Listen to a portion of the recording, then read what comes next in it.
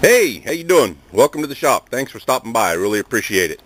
Well, this is the first update on the trailer that uh, we've actually started to rebuild. We're uh, over the hump on the demolish and now we're rebuilding. As you can see, I've got the frame stripped down bare. I've uh, pulled off all the wheels and the brake backings. In fact, I'm going to show you that brake right now. It had drum brakes on them, and that's what three of the four of them looked like. Just full of grease.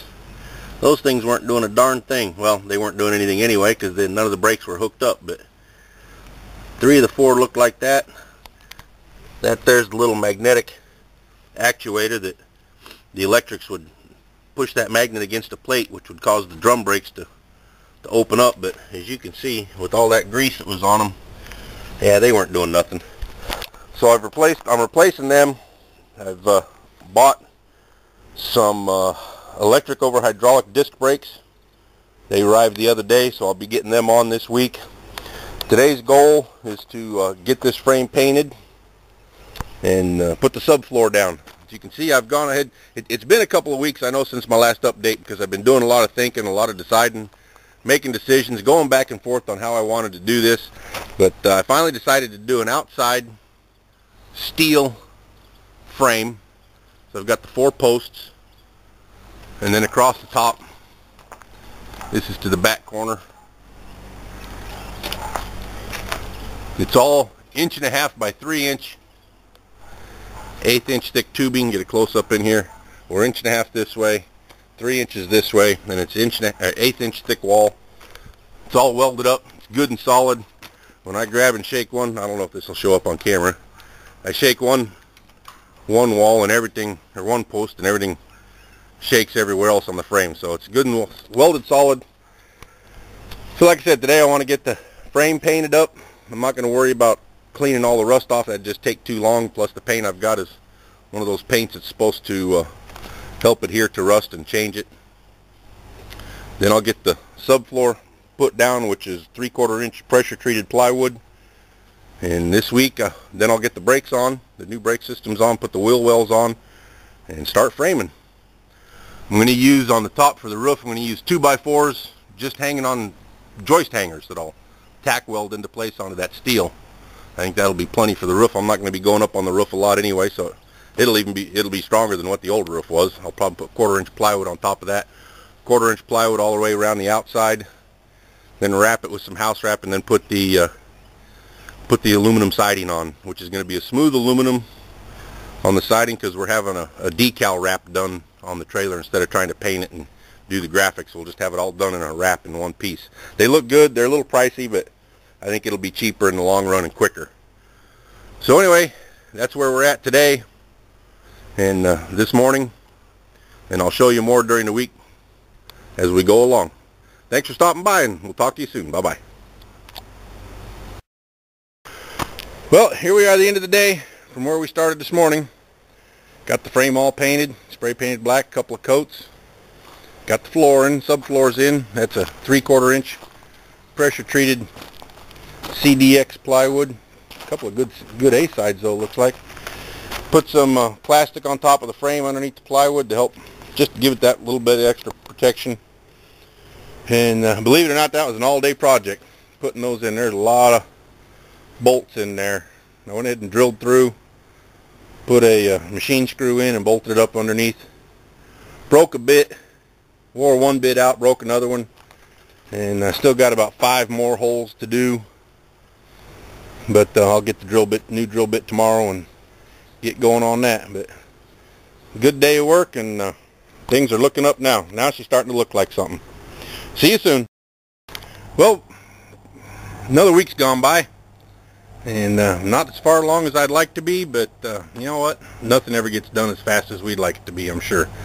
If any of you are like me, you wish things get done a little bit quicker, but everything takes time and there's always interruptions. As you can see, I got the wheel wells cut out, the plywood. Got the uh, new brakes, rotors on, backing plates. All four, all four axles have new disc brakes. And those will be uh, electric over hydraulic with, there's an actuator it's uh, an electric pump that's driven by the brakes. I'm going to put it probably I'm not sure which side. Probably this side, the service side here. It'll sit inside the trailer right on top of the wheel well, right about here. And it'll be a short run here to the hydraulic lines and then one over underneath there. I still got to hook those up. As you can see those hook up back here. There with a little red. I've left the red dust caps in there and the same on the other side.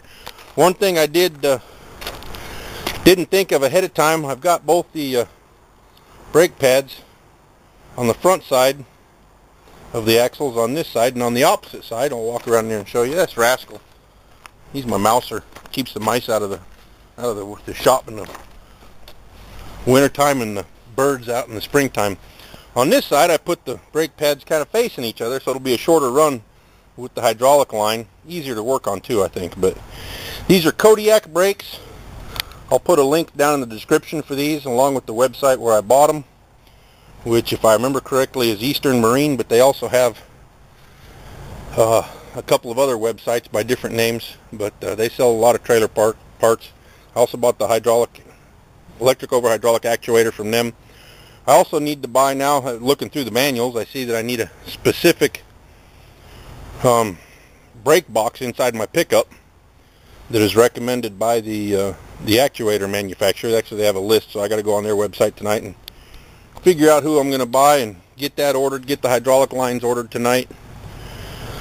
Along with some other stuff, I've been talking during the week with my window manufacturer and door manufacturer, the guy that's going to make those for me. Um, still need information from him as far as the uh, the front wall here. The door is going to go right in the middle off the, where the hitch tongue is. That'll just be a normal walk-through door, but I got to find out the rough opening from him on that so I can frame that wall in. This back wall I can do. I'm reusing one of the old windows from the trailer that are still in decent shape.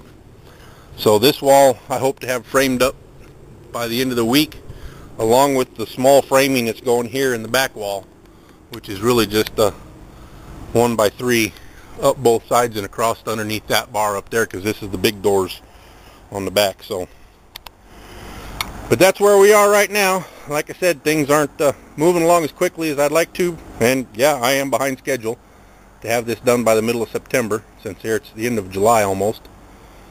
But uh, I just got to start cranking on it and getting it done. Mostly it's getting was the delays this last couple of weeks was getting the information from the door and window companies and deciding what I was going to do in, in certain areas. But those those details are figured out for the most part that I can start moving on framing. And hopefully next week, when I give you another update, she's going to look like a trailer. But uh, time will tell on that. Well, in the meantime, thanks for watching. Thanks for stopping by. I really appreciate it. Click like if you like the video. Click don't like if you don't like the video. But please do subscribe to the channel. I do appreciate that. And uh, I thank all of you who have subscribed already. You guys truly are an inspiration to me. and. Uh, keep me plugging along and keep me going with your comments and and just being there knowing that you guys are watching the videos I, I appreciate it. it makes it makes it worthwhile doing this so until next time have a good day bye bye